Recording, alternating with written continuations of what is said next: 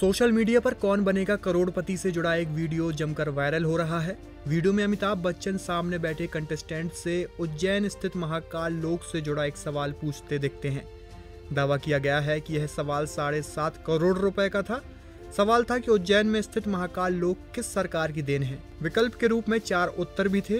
ए, शिवराज सरकार, बी, दिग्विजय सरकार, सी, कमलनाथ सरकार और डी, उमा भारती सरकार।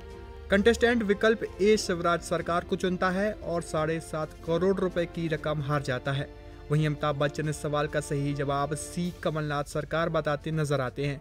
सोशल मीडिया पर जमकर वायरल हो रही चवालीस सेकेंड की इस क्लिप को शेयर करने वाले यूज़र्स दावा कर रहे हैं कि कंटेस्टेंट के साढ़े सात करोड़ रुपए इसलिए डूब गए क्योंकि वो झूठे प्रचार का शिकार हुआ था।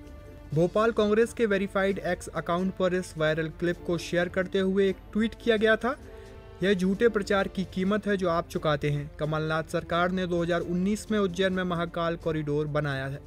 कुछ ऐसे ही ट्वीट्स अन्य वेरीफाइड एक्स यूज़र्स द्वारा भी किए गए हैं, जिन्हें आप स्क्रीन पर देख रहे हैं। वायरल हो रही इस वीडियो की जब पड़ताल की गई, असल में वायरल होते इस वीडियो में अमिताभ बच्चन कंटेस्टेंट को शाश्वत गोयल के नाम से बुलाते हैं।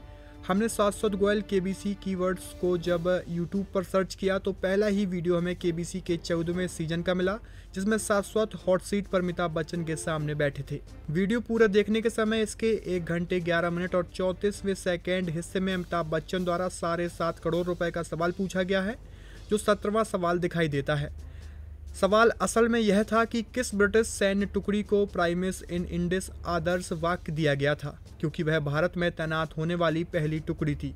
इसके भी चार ऑप्शन थे, ए, इकतालीसवां, बी, प्रथम कोल्ड स्ट्रीम गार्ड, सी, पाँचवीं light infantry, D, उनतालीसवां regiment of foot contestant Shashwat Goyal A इकतालीसवां regiment of foot को चुनते हैं। हालाँकि यह जवाब गलत था। इस सवाल का सही जवाब था D उनतालीसवां regiment of foot. K B C चौदह के इस वीडियो में हमें कहीं भी वायरल क्लिप में पूछा गया, उज्जैन में स्थित महाकाल लोक किस सरकार की देन है? नहीं मिला।